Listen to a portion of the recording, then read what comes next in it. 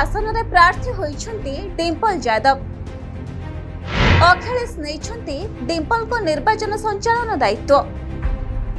BJP ଘୋଷଣା କରିନାହିଁ ନିଜର ଆଶାୟୀ ପ୍ରାର୍ଥୀଙ୍କ ନାଁ ସପାର ଦବଦବା ଆଗରେ କାମ ଦେବ କି ବିଜେପିର ନୂଆ ଷ୍ଟ୍ରାଟେଜି ଉତ୍ତରପ୍ରଦେଶର ମୈନପୁର ଲୋକସଭା ଆସନରେ ଉପନିର୍ବାଚନ ପାଇଁ ଏବେ ସରଗରମ ରାଜନୀତି। ଏହି ଆସନରେ ସମାଜବାଦୀ ପାର୍ଟି ତରଫରୁ ନିର୍ବାଚନ ଲଢ଼ିବେ ଡିମ୍ପଲ ଯାଦବ। ଡିମ୍ପଲଙ୍କ ନାମ ଘୋଷଣା କରିଛନ୍ତି ସମାଜବାଦୀ ପାର୍ଟି ଅଧ୍ୟକ୍ଷ ଅଖିଳେଶ ଯାଦବ। ସମାଜବାଦୀ ପାର୍ଟି ସଂରକ୍ଷକ ମୁଲାୟମ ସିଂ ଯାଦବଙ୍କ ନିଧନ ପରେ ଏହି ଆସନରେ ଉପନିର୍ବାଚନ ହେଉଛି। ଏଥିପାଇଁ ଆଜିଠାରୁ ନାମାଙ୍କନ ପ୍ରକ୍ରିୟା ଆରମ୍ଭ ହୋଇଛି। ନଭେମ୍ବର ସତର ତାରିଖ ପର୍ଯ୍ୟନ୍ତ ଚାଲିବ ନାମାଙ୍କନ ପ୍ରକ୍ରିୟା।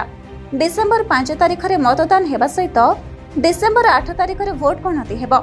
ତେବେ ଏହି ଆସନ ପାଇଁ ପୂର୍ବରୁ ଡିମ୍ପଲଙ୍କ ବ୍ୟତୀତ ତେଜପ୍ରତାପ ଏବଂ ଧର୍ମେନ୍ଦ୍ର ଯାଦବଙ୍କ ନାମକୁ ନେଇ ମଧ୍ୟ ବିଚାର କରାଯାଉଥିଲା।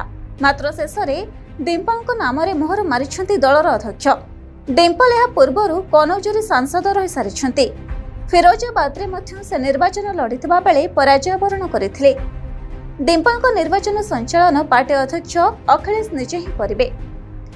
ପୂର୍ବତନ ମୁଖ୍ୟମନ୍ତ୍ରୀ ଅଖିଳେଶଙ୍କ ପତ୍ନୀ ଡିମ୍ପଲଙ୍କ ରାଜନୈତିକ କ୍ୟାରିୟର ଉତ୍ଥାନ ପତନ ମଧ୍ୟରେ ଗତି କରିଛି।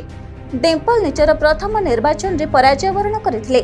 କିନ୍ତୁ ପରାଜୟ ପରେ ବି ସେ ଆତ୍ମବିଶ୍ୱାସ ହରାଇନଥିଲେ କଥା କହିବାର ଶୈଳୀ ଏବଂ ଓଜସ୍ୱିନୀ ଭାଷଣ ତାଙ୍କୁ କମ୍ ସମୟ ମଧ୍ୟରେ ଲୋକଙ୍କର ନିକଟତର କରିପାରିଛି। ଦୁଇ ହଜାର ନଅ ଲୋକସଭା ନିର୍ବାଚନରେ ଅଖିଳେଶ ଯାଦବ ଉତ୍ତରପ୍ରଦେଶର ଦୁଇଟି ଆସନ ଫିରୋଜାବାଦ ଏବଂ କନୌଜରେ ନିର୍ବାଚନ ଲଢ଼ିଥିଲେ। ପରବର୍ତ୍ତୀ ସମୟରେ ଅଖିଳେଶ ଫିରୋଜାବାଦ ଆସନକୁ ଛାଡ଼ି ଦେଇଥିଲେ ଆଉ ଉପନିର୍ବାଚନରେ ଡିମ୍ପଲଙ୍କୁ ପ୍ରାର୍ଥୀ କରାଇଥିଲେ। ମାତ୍ର କଂଗ୍ରେସ ନେତା ରାଜ ବାବରଙ୍କଠାରୁ ହାରିଯାଇଥିଲେ ଡିମ୍ପଲ। ତେବେ ଅଖିଳେଶ ଯାଦବ କନୌଜ ଲୋକସଭା ଆସନ ଛାଡ଼ିବା ପରେ ଦୁଇ ହଜାର ବାରରେ ଉପନିର୍ବାଚନ ହୋଇଥିଲା। ସମାଜବାଦୀ ପାର୍ଟି ପୁଣି ଥରେ ଡିମ୍ପଲଙ୍କୁ ସେଠାରେ ପ୍ରାର୍ଥୀ କରିଥିଲା। ଏହି ଉପନିର୍ବାଚନରେ ବସପା କଂଗ୍ରେସ ଭାଜପା ତାଙ୍କ ବିରୋଧରେ ପ୍ରାର୍ଥୀ ଦେଇନଥିଲେ ଦୁଇ ଜଣ ବ୍ୟକ୍ତି ନାମାଙ୍କନ ମଧ୍ୟ ପ୍ରତ୍ୟାହାର କରିନେଇଥିଲେ ଫଳରେ ଡିମ୍ପଲ ଯାଦବ ନିର୍ଦ୍ୱନ୍ଦ୍ୱରେ ନିର୍ବାଚିତ ହୋଇଥିଲେ। ଦୁଇ ହଜାର ଚଉଦ ଲୋକସଭା ନିର୍ବାଚନରେ ଏହି ଆସନରେ ଡିମ୍ପଲ ବିଜୟ ଲାଭ କରିଥିଲେ।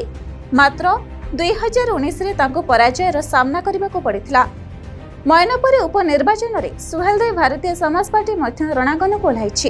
ପାର୍ଟିର ରାଷ୍ଟ୍ରୀୟ ଅଧ୍ୟକ୍ଷ ଏବଂ ପୂର୍ବତନ କ୍ୟାବିନେଟ୍ ମନ୍ତ୍ରୀ ଓମ୍ ପ୍ରକାଶ ରାଜଭର ଆଶାୟୀ ପ୍ରାର୍ଥୀଙ୍କ ନାଁ ଘୋଷଣା କରିଛନ୍ତି। ମୈନପୁରୀ ଉପନିର୍ବାଚନରେ ରମାକାନ୍ତ କଶ୍ୟପଙ୍କୁ ପ୍ରାର୍ଥୀ କରିଛି ସୁଭାଷପା। ତେବେ ବର୍ତ୍ତମାନ ପର୍ଯ୍ୟନ୍ତ ବିଜେପି ନିଜର ଆଶାୟୀ ପ୍ରାର୍ଥୀଙ୍କ ନାମ ଘୋଷଣା କରିନାହିଁ।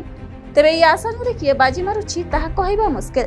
କାରଣ ଏହି ଆସନରେ ସପାର ଦବଦବା ଜାରି ରହିଥିବା ବେଳେ ବିଜେପି ଆରମ୍ଭ କରିଛି ନୂଆ ଷ୍ଟ୍ରାଟେଜି ବ୍ୟୁରୋ ରିପୋର୍ଟ ନିରପେକ୍ଷ।